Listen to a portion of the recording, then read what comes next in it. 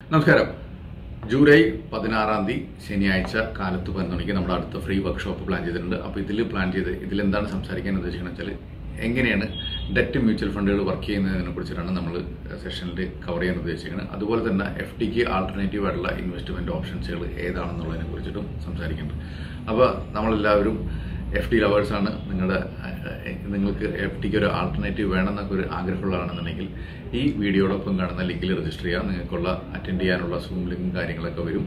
അപ്പോൾ ജൂലൈ പതിനാറാം തീയതി ഈ മാസം പതിനാറാം തീയതി ശനിയാഴ്ച കാലത്ത് പതിനൊന്ന് മണിക്ക് എല്ലാവർക്കും ഒരുമിച്ച് കൂടാം. അതുപോലെ തന്നെ ഒരുമിച്ച് കാര്യങ്ങളൊക്കെ പഠിക്കാം. Thank so much